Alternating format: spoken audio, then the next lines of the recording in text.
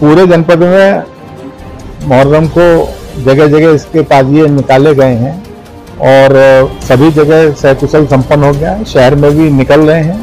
रात में एक बजे के करीब यहाँ रजदेपुर में एक मिलनी होती है, जो पूरे शहर से ताजिए आते हैं। उसके बाद यहाँ से इमामबाड़ा जाते हैं और व्यापक पुलिस प्रबंध यहाँ पर किए गए हैं। इसी परिप्रेक्ष्य में और डीएम साहब अभी यहाँ पे आए हैं। इसके बाद देहात क्षेत्र में भी निकलेंगे।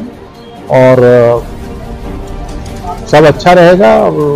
व्यापक प्रबंध पुलिस के द्वारा किए गए हैं। शांतिपूर्ण पूरे जनपद में आज जो भी ताजिए निकले हैं, कहीं पे भी कोई ऐसी बात संज्ञान में नहीं आई है और सब अपना जो लोग हैं, इसे अपने अपने तरीके से मना रहे हैं। मैं ये कहूँगा कि जो ग्रामीण क्षेत्रों की जो ताबिया जो दफन होती है और जो मिलनियाँ होती है, वो दिल्ली में करके खत्म कर दी गई और दफन कर दी गई। और जो रात की जो मिलनी है, एक तो लकड़ी के टाल पर बहुत महत्वपूर्ण मिलनी होती है, जो वो हुई। और ये जो अब, जो रजदेपुरा सुजावलपुर की जो मिलनी होती है, इसी मिलनी के बाद जितनी शहर की ताजियाँ अधिकांश ये लाइन से खड़ी हैं, उन्हीं का उन्हीं का इंतज़ार ये करती हैं।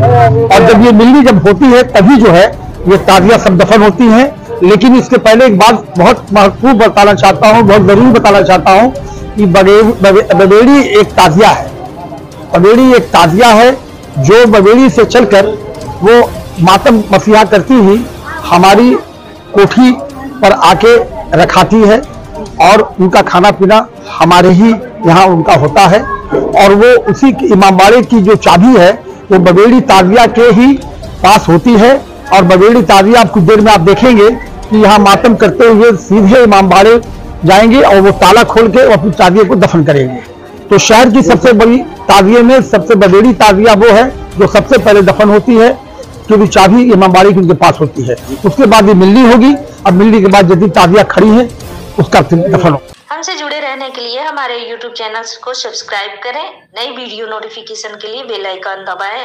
अगर आप Facebook पर देख रहे हैं तो लाइक ज़रूर करें और ज़्यादा से ज़्यादा शेयर करें। धन्यवाद।